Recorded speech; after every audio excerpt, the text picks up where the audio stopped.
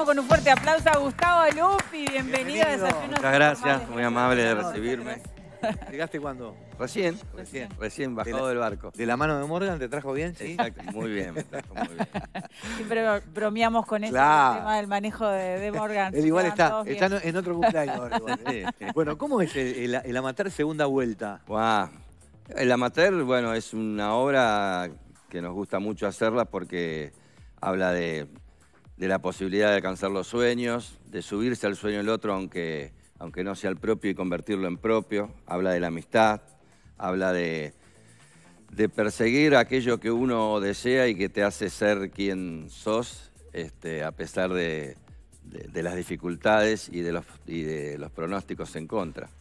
Así que mm, es un espectáculo mm, que es muy entrañable porque eh, tanto el director como Mauricio y yo somos amigos de hace muchos años y cuando a Mauricio se le ocurrió hacerla de, de nuevo em, y nos convocó, fue todo como una reunión de amigos que empezamos a ensayar y ver y quizás y dale y dale y empezamos y empezamos y empezamos y, y nos entusiasmamos y acá estamos. Gustavo, ¿cómo es el, el rol o el, vínculo que tienen los protagonistas, el pájaro y Lopecito? Bueno, eh, eh, Lopecito es un ex bailarín de tango fracasado que trabaja como repartidor con una bicicleta para distintos negocios.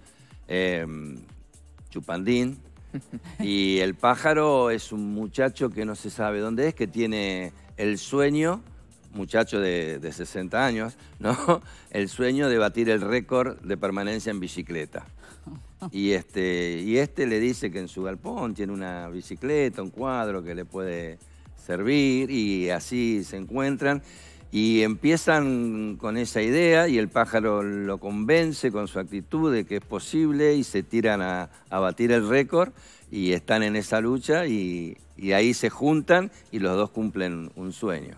¿La obra ha sido un éxito en Argentina? Sí, ¿Y cómo, sí, sí. ¿y cómo, ¿Y cómo es en el exterior? ¿Cómo lo recibe la gente en el exterior? Eh, bueno, en el su- eh, esta segunda vuelta porque Mauricio la escribió en el 97 y la hizo en aquella época, este, durante creo que tres años, y ahí viajaron y tuvieron la oportunidad de, de verla y anduvo muy bien. Y esta es la primera vez que salimos este, con el amateur en Buenos Aires, nos está yendo muy bien, Bárbaro. estamos en el, en el Teatro de Mauricio, en el Chacarera Teatre, y, este, y la pasamos muy bien. Gustavo, eh, sos hijo de, de Federico Lupi, ya hace Sí. seis años de, de su fallecimiento. Sí, en el 17. En el 17. En octubre ¿Cómo, del 17. ¿Cómo fue esa, ese amor por también por el mismo arte que tenía tu padre? ¿Te fue fácil? Eh, ¿cómo, ¿Cómo recorrías su trabajo? ¿Estabas en compañía de él? Sí, bueno, eh, cuando tenés un padre así tan, tan famoso nunca es fácil, ¿no? Porque siempre está la comparación y siempre está... Claro, el hijo de... El hijo de- Claro, igual. y si lo hace bien y porque es el hijo de Lupi, si lo hace mal y labura porque es el hijo Claro. de Lupi. Claro. Entonces, Qué él, feo. él me dijo una ¿Cuál vez- de las dos es más fea? Claro, Claro. él me dijo una vez, te vas a tener que fumar a todos mis amigos y mis enemigos, y así sí. fue. ¿Pero sentís que heredaste algo de él? ¿Eh? ¿Sentís que heredaste algo de él? Eh, Desde lo profesional, digo, ¿eh? Sí, sí, sí. Creo que la- eh, las ganas de, de tomar este laburo en serio, de, de, de disfrutarlo, de, que esto te da un sentido. Yo, aparte de actuar, soy director de, ficción, de, de televisión sobre todo. Este, dirijo tiras, ahora estoy preparando la próxima tira de Polka. Y, este, y en los dos aspectos eh, siento que tengo esta cosa de, de- que el trabajo es, es trabajo, pero también se puede disfrutar este, y también es algo que, que uno le puede dar un, un sentido y, y deja de ser este, el yugo. Claro. Claro. ¿Y de chiquito que lo acompañabas en los Sí, a todos lados, sí, sí. Sí, porque además eh, el síndrome de- del, del- el hijo de divorciados, mis padres se divorciaron cuando yo era muy chico, entonces Claro, no había- no cuando estaba con él... Mirá no que había- venís conmigo, pero tenés que ir conmigo al laburo. Claro, y entonces iba a los canales, estábamos todo el día en el canal, yo jugaba, este, molestaba entre las cámaras, este, después nos íbamos al teatro y después me dormía en la silla de los restaurantes. Claro, el tercer tiempo. Pero yo la pasaba muy bien porque Claro. además me encontraba con los otros hijos de. Entonces este, armábamos un grupo de eh, marginales. Gustavo, ¿y cuál, te acordás cuál fue la primera obra cómo, cómo fue tu primer trabajo en, el mundo artístico? Sí, yo tenía 12 años y había una profesora muy importante de teatro en Buenos Aires que se llamó Heidi Krila, que fue formadora de profesores, fue profesora de, de mi padre, de Lito Cruz, de un montón de gente. Y ella iba a hacer una obra infantil.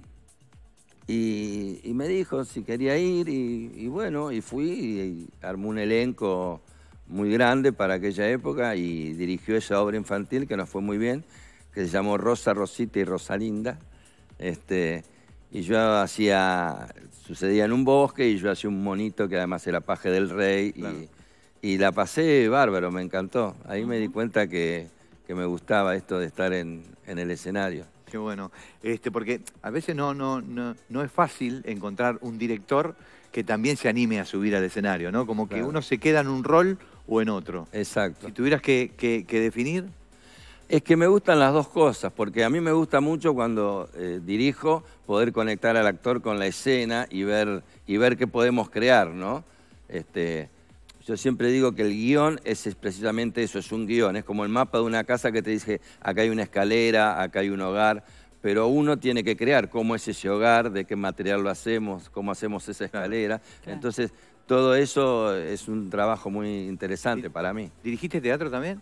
Eh, sí, pero muy poco. Muy poco. Muy poco Es- porque... es, es diferente porque siempre se dice que de repente en teatro los actores en vivo te pueden definir la obra. Es Ahora, muy diferente, sí. en, en ficción te la define el director. Sí, sí, es muy diferente. Porque en teatro vos tenés el tiempo de investigar la obra, investigar el espectáculo, el punto de vista del actor, el punto de vista del director, qué es lo que queremos contar, cómo lo vamos a hacer, qué, qué le queremos Lo, dar. lo podés pulir de función a función. Exactamente, y además tenés dos o tres meses de ensayo donde vos vas, prueba y error, esos son los ensayos. En la ficción en a veces se televisión lee- no, en, en televisión vos tenés que ir al, al hueso de la escena. Claro. Yo siempre le digo a los actores, yo no quiero que sepan la letra, quiero que sepan la escena. La intención. Claro, lo, que, pasa. si estamos de acuerdo en lo que pasa, en lo que vamos Ahí a contar, desarrollamos. la letra... Cambiame la palabra, no me importa. Claro, Pero- sobre todo cuando ha- haces ficciones donde no estás haciendo Chekhov, que sí Claro, cambia, sí, sí, sí. Claro. le cambia el sentido a la... Sentido. Pueden traer la letra a, a-